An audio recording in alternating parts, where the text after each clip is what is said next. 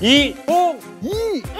많이 여러분 새해 복 많이 받으세요. Happy New Year. 드디어 여러분 새해 복 많이 받으세요. Happy New Year. 까치까치 설날은 어저께 고요. 우리 우리 설날은 오늘이래요. 네, 드디어 2020년이 가고 2021년 새해가 밝았습니다.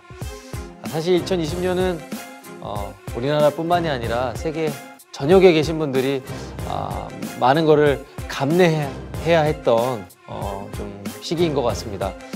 어, 아픈 시간들을 좀 뒤로 하고 2021년 새해에는 우리 모두가 건강하고 어, 또한 번 더 행복하게 도약할 수 있는 한 해가 될 수 있을 거라고 생각을 합니다.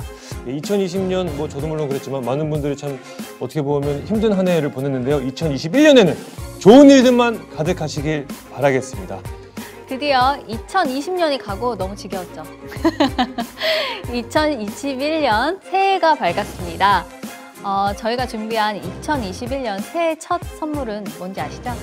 여러분 뭔지 아시죠? 바로 1월 22일 1월 22일 바로 1월 22일 범인은 바로 나 시즌 3로 바로 너 시즌 3로 범인은 바로 너 시즌 3로 로 넷플릭스에서 만나요.